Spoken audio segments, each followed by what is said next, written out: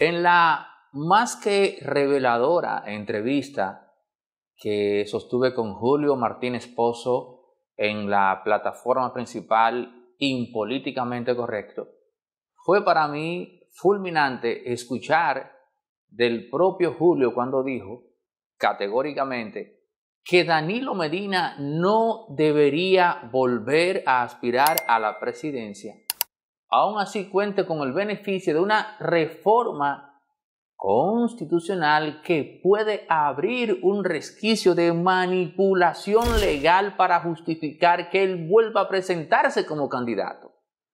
Es el mismo Julio Martínez Pozo, que es amigo personal de Danilo, que tiene una relación humana mucho más cercana al expresidente Medina que a Leonel. Y en esa misma línea, cuando le pregunto de Leonel, me dice también sin pelos en la lengua que hay que ser pragmático y que no se le puede negar a una persona que sacó un 30% la posibilidad de volver a aspirar. Estas declaraciones de Julio Martínez Pozo con toda seguridad han traído malestar en el entorno del expresidente Medina. Le hice una pregunta similar a Rubén Jiménez Bichara también en el set principal de Impolíticamente Correcto. Y pude presenciar cómo su estado de ánimo cambió a un etos de buena vibra cuando le dibujé el escenario de un Danilo candidato presidencial fruto de una reforma constitucional. Recordemos que Rubén Jiménez Pichara, aunque se describe como un modesto colaborador de Danilo, no es un secreto para nadie que es quizás el más cercano de todos. Así que si Rubén Jiménez Bichara se pone de muy buen humor cuando le hablan de un Danilo Medina candidato, es porque ya el propio expresidente Medina está contemplando seriamente eso.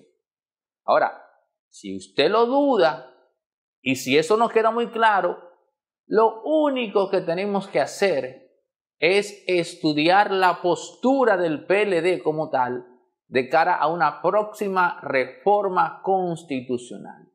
Si usted ve un PLD contestatario, obedecerá esto simplemente al hecho de que Danilo Medina para ese entonces, un entonces que no está muy lejos, ¿eh? habrá perdido considerablemente cuotas de poder en ese partido. De lo contrario, la línea ha de ser totalmente equidistante, dejando pasar eso al más puro estilo del, del laissez-faire de Adam Smith. Entonces, señores, Julio Martínez Pozo dice categóricamente que no, que Danilo no debería volver a aspirar, aún puede hacerlo, pero en cambio plantea que es pragmático que Leonel sí pueda, porque fue Leonel quien sacó ese 30. Ahora bien, Julio, si usted lo examina desde la distancia, se dirá, él tiene razón.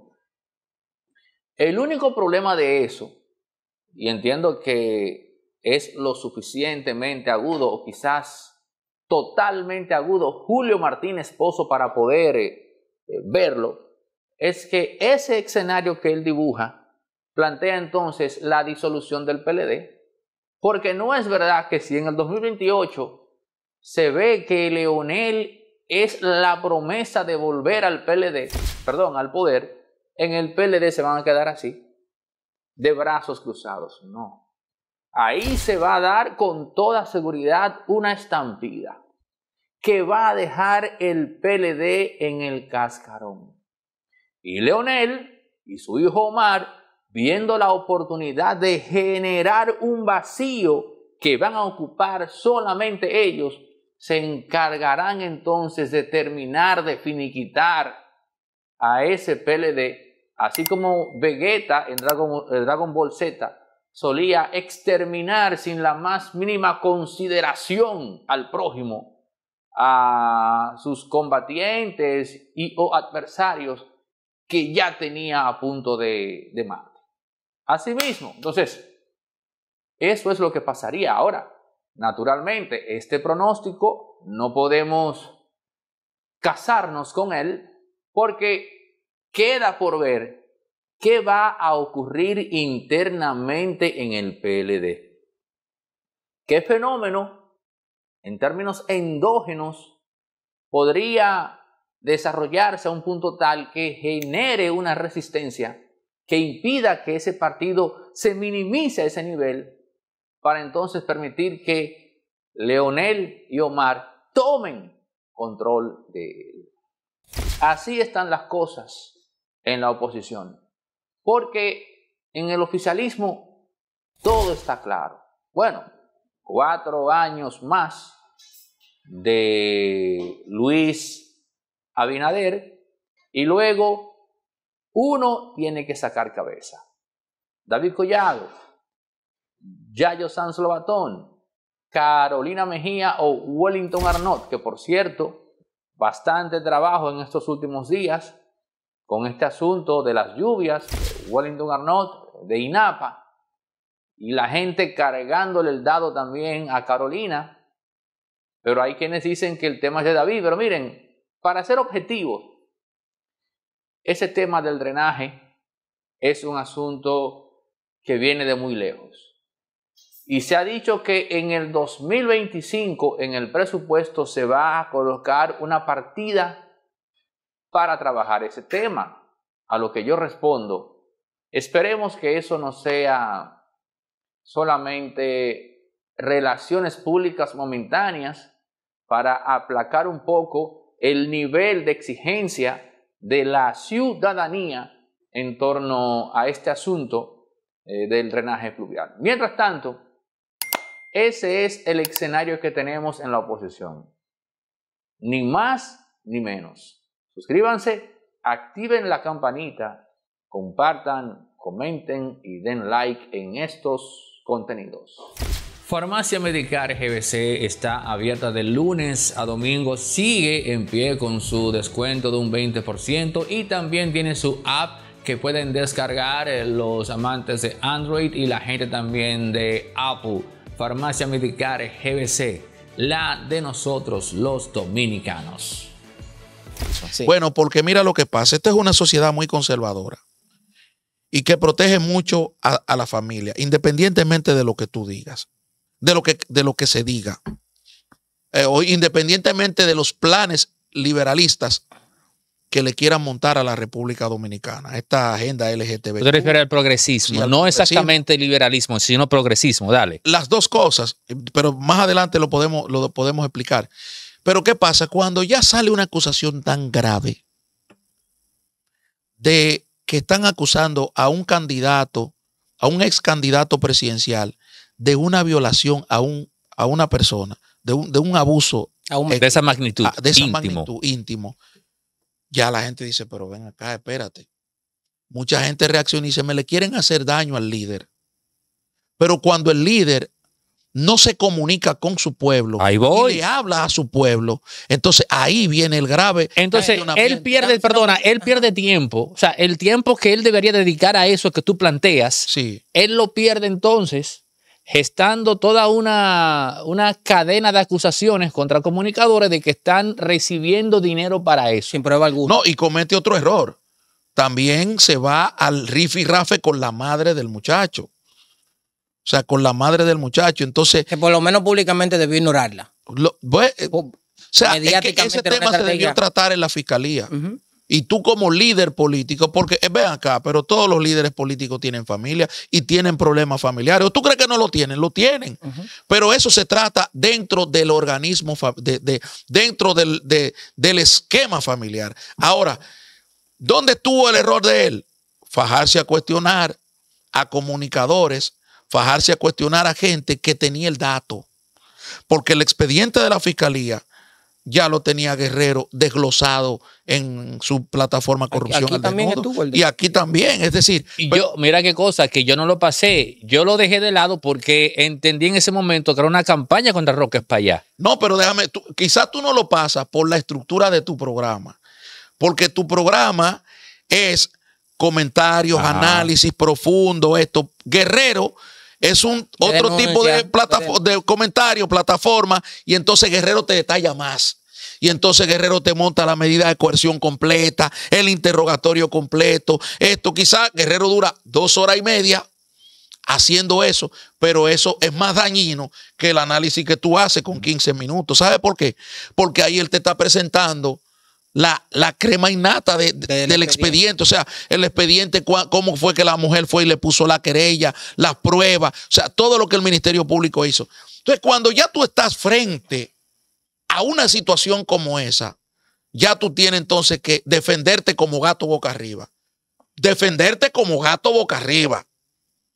No atacar al mensajero por el mensaje.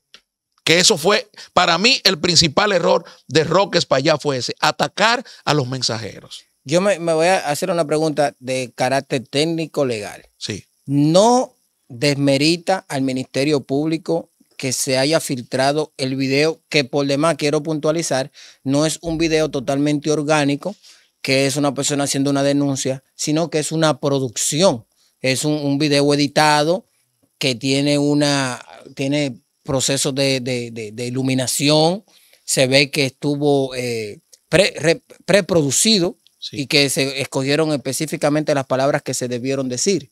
No obstante, la filtración de este contenido a los medios de comunicación no le resta calidades al Ministerio Público a la hora de cuestionar a cualquier persona independientemente de Pero claro que sí, te lo he dicho siempre. Por, el, por ejemplo, en el caso Paya, que filtraron también los interrogatorios a los medios de comunicación, eh, un caso de narcotráfico.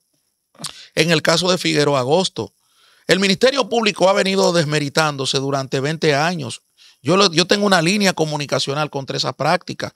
¿Por qué? Porque esos casos se conocen primero en los medios o lo conoce la gente primero que, lo, eh, que, un juez. Ahora bien, pero ese video todavía no es prueba. No. Ese es un video que el joven graba y que él tiene que, que corroborar todo lo que él ha dicho ahí con una serie de preguntas y respuestas que el fiscal lo tiene que someter. Entonces, ¿cuál es el ánimo de filtrar un video de esta forma?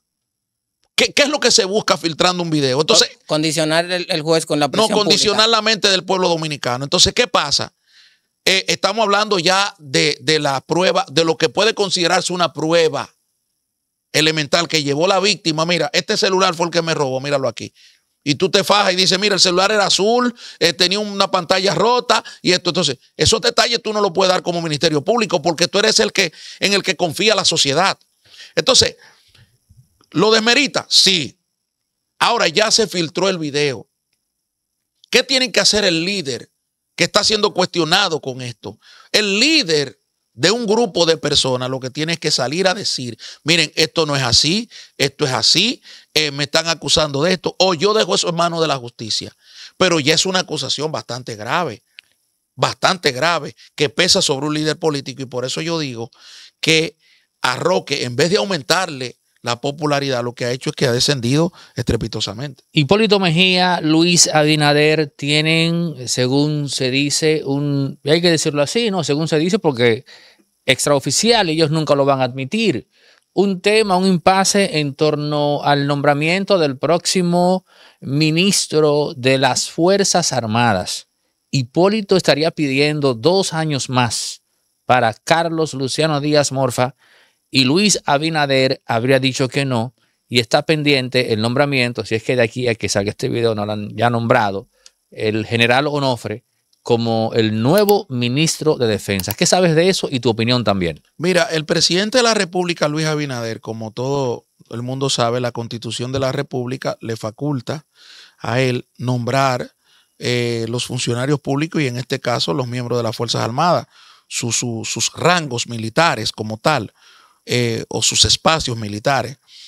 El general Luciano eh, Díaz Morfa, que es el ministro de las Fuerzas Armadas, todo el mundo sabe que era el hombre de confianza o es el hombre de confianza de Hipólito Mejía, pero yo no me voy a referir a, un rumor, no, no puedo especular sobre un nombramiento, porque recuerda que el presidente tiene la facultad de nombrar a uno o al otro. Ahora bien, que ya le pusieron nombre al sustituto de Morfa, también entonces tengo reserva con eso. ¿Por qué? Vamos a ver. Bueno, porque ¿cuántos más generales hay que pueden ocupar la, Secretaría de la Fuerza Armada, el Ministerio de la Fuerza Armada? Es decir, que tú decir, bueno, él no quiere a Onofre, quiere que le den a Morfa, y entonces que Morfa ahora eh, quieren dos años más para él. Bueno, pero aparte de Onofre, hay otro militar con capacidad para ir a las Fuerzas Armadas. Eso lo sabrá el presidente de la República. Y yo pienso que es una facultad del presidente. Si él quiere dejar a Morfa ahí por un acuerdo que tiene con Hipólito durante dos años, perfecto. Si él quiere cambiarlo, eh, vamos a evaluar entonces en, su justa dimensión los cuatro años de Morfa. ¿Qué te parece? Ahí, no, ahí voy. Si la principal responsabilidad del ministro de Defensa de un país cualquiera es defender sus límites y sus fronteras, ¿cierto? Sí. Y si a eso vamos, la cantidad incalculable de nacionales haitianos que tenemos en nuestro país es responsabilidad directa del ministro de Defensa. Bueno, responsabilidad directa del ministro de Defensa es mantener la seguridad del Estado. o sea, si tú me dices a mí que hay una, eh, un aumento de hechos violentos o cometidos a mano de nacionales haitianos o de nacionales chinos o de nacionales rusos, mm. yo te digo, el Ministerio de, el, Ministerio de Defensa eh, no está haciendo su trabajo. Ahora bien, todo nacional extranjero que entra a la República Dominicana tiene que ver con diversos negocios. Yo te pongo el ejemplo de los chinos.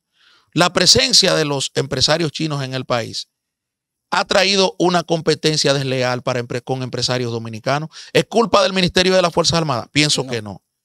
Atención a todos los profesionales, emprendedores y empresas medianas y pequeñas que quieren tener su contenido de calidad circulando por las redes sociales, dando a conocer sus servicios. En Resorte Media hemos habilitado una unidad audiovisual especializada en la producción de contenido corporativo, empresarial y para todo aquel emprendedor que quiere acogerse a aquello de que dice que una imagen vale más que mil palabras en efecto, podrás tener las mejores imágenes, la mejor calidad al precio más competitivo del mercado para dar a conocer tu servicio a todos acá en República Dominicana e incluso si tu empresa capta clientes en el extranjero, también podrás contar con eso.